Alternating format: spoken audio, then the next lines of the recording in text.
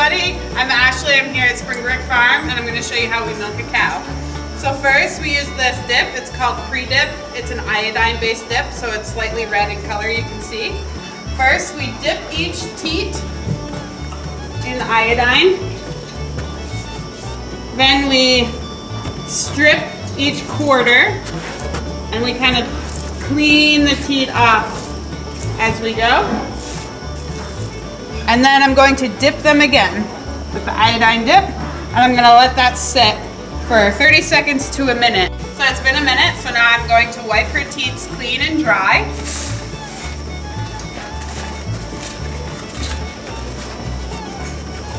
That might seem like she doesn't like this very much, but once the milk machine gets on her, it's gonna feel like a relief to her.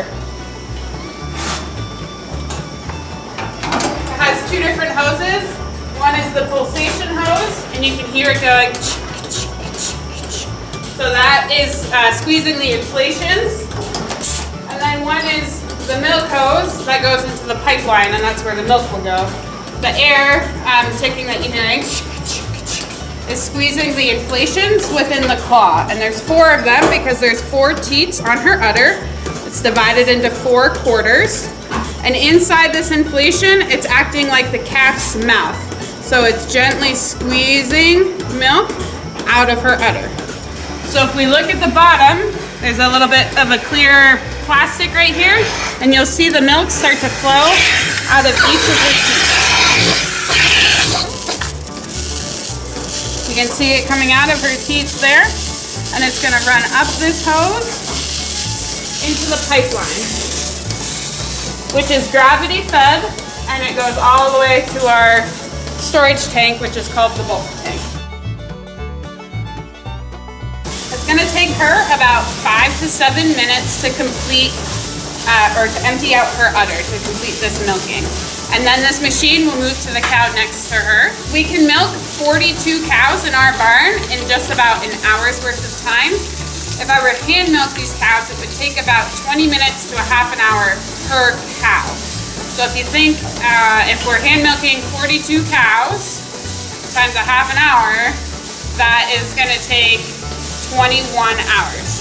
The other thing that was important that I said when I was cleaning off her udder was that we wait about a minute to come back and wipe her and then put the machine on. That's because from uh, touching her udder, so it's stimulating an oxytocin release, which uh, causes a milk letdown. And the ideal timing would be 60 seconds uh, to 90 seconds after we touch their udder. And oxytocin um, it's just a really, it's a feel-good hormone. It's the same hormone that humans have. You get a hug from your mom or your grandmother or a really good friend. It makes you feel better, and that's because your brain is releasing oxytocin to, to give, make you feel better. Here's our cow as she is being milked. And as Ashley explained, that milk is going up here into these pipes. And we're gonna follow this pipeline down to the milk room where all of the raw milk is collected.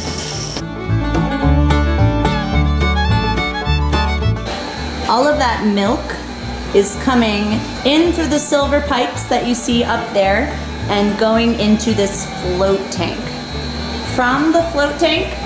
It's gonna go back into the pipes and it comes through this silver pipe here where it's also going through a filter so that it filters out any sawdust or dirt or anything else that might have gotten into the milk.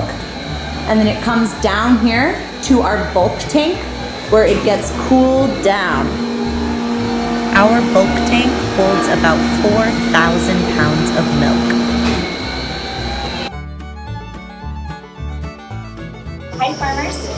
So now we are going to uh, hand milk this cow Bonnie here. This is the cow that many of our students have the opportunity to hand milk when they're here at Spring Brook Farm.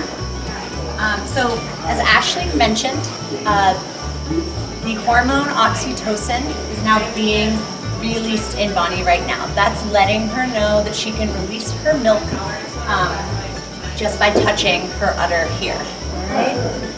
First thing we need to do um, is make sure that we clean her teats with iodine. Um, so I'm filling this up right here And I'm going to dip, dip, dip, dip. Next, I'm going to test um, that her milk is healthy right now, that she does not have an infection called mastitis. So I'm going to test each teat.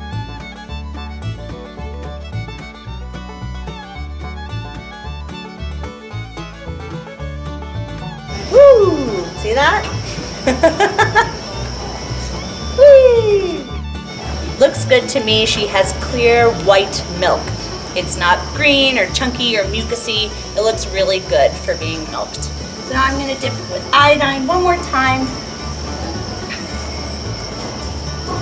All right, just wipe off that.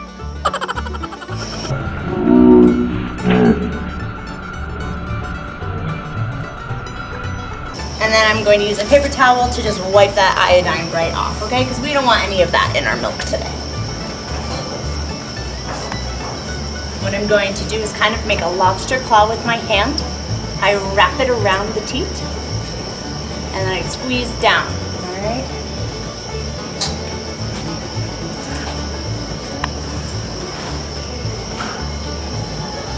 Let it refill.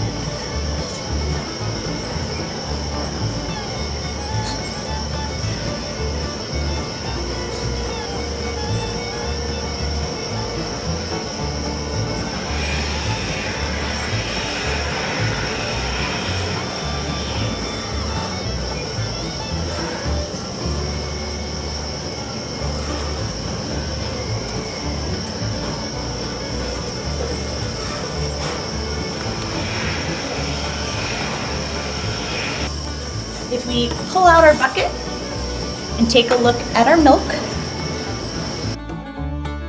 there's a little bit of sawdust and hay in there, um, which is why it's a lot more hygienic to use the milk machines. It's faster um, and it does allow us to get much cleaner milk that we can use for our cheese.